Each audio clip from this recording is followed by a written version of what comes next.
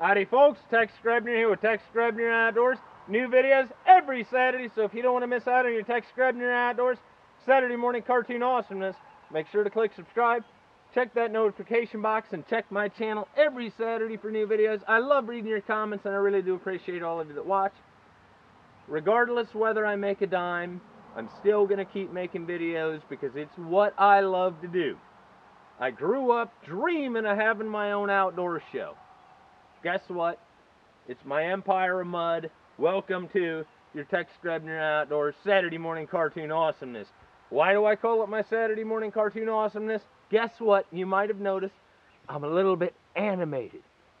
Anyways, I do read your comments, and some of you had been asking me about how I set up my compound bows, because while I am a traditional bow hunter, I do have a couple of compound bows in my collection. This one is a Martin Xenon. It's a solo cam style bow. And it's set up in a very simple way. But there's a couple of key features as part of this bow that lend itself to actually shooting with fingers successfully. Now right now I'm on my 20 yard spot and so this isn't terribly impressive. But this bow is a 34 axle to axle. You don't want to get much below 34 axle to axle length because you get too much finger pinch and you torque the bow too much as you draw. So if you're going to be using a short axle to axle bow and shooting with fingers, you're gonna need to use a full capture arrow rest. In my case, because this bow also, as I say, has a 6 inch brace height right there, that means that the string angle is going to be more obtuse than acute. Remember your sixth grade geometry?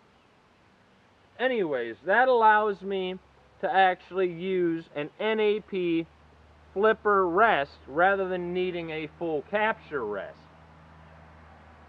But as you saw, when I shoot, I'm twisting the string and I'm relaxing my front hand a little bit and that allows the bow to cant over so that the string is in line with the limbs when I'm on my anchor point.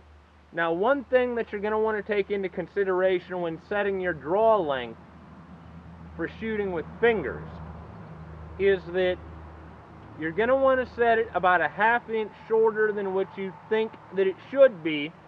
That way you can settle in right on that anchor point at your back wall.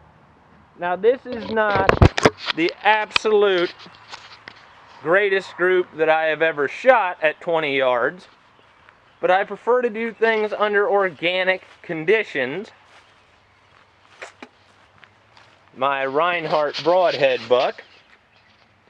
So I've got one a little bit low in the lungs, one over there in the heart, and I've got one a little bit high in the lungs. But ask me about my sights. Now, sadly, for whatever reason, Martin Archery has kind of fallen out of vogue lately.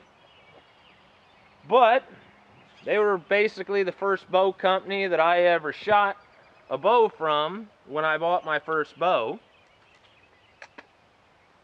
And so, I guess I'm brand loyal. The thing about archery, and I'm going to make a video dedicated to this in general, you cannot buy performance. Performance only comes from persistence. You cannot force the flowers into bloom.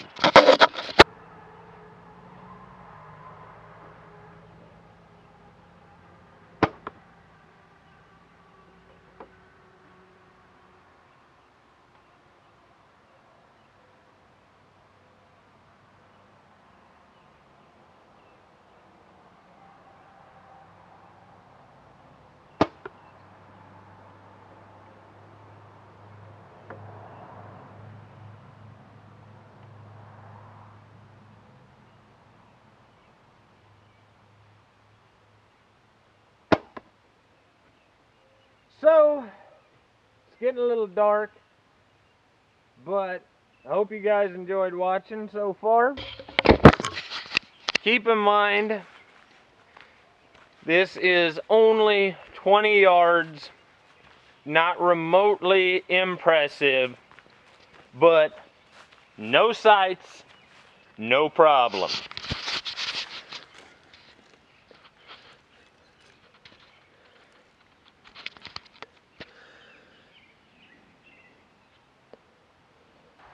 So I hope you guys enjoyed watching. As always, God bless all my sportsmen of America. Join the NRA to protect our rights. Please check out my friends over at SOETacticalgear.com. Thank you very much to those of you involved in law enforcement and those of you serving in the military. And thanks for watching Texas Grebner Outdoors.